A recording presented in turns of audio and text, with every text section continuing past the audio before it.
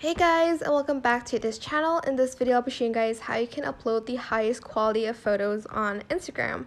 So for instance you have a lot of high quality photos and you don't want it to turn like a little bit like pixelated I would say on your Instagram.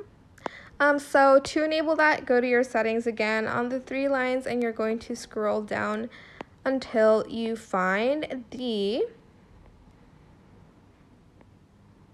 I think um, data usage and media quality. You're going to enable the upload at highest quality.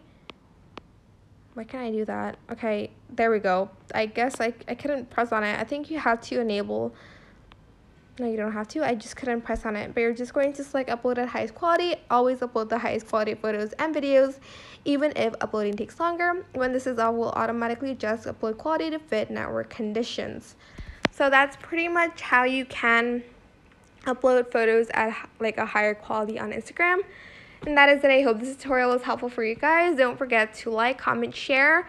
Also subscribe to this channel if you haven't done that already. If you have any more questions about this video, leave it in the comment section down below and I'll try my best to answer them all for you guys. And if you found this video helpful, please click the thanks button as well. It would mean a lot to me. Thank you so much for watching this video. Bye!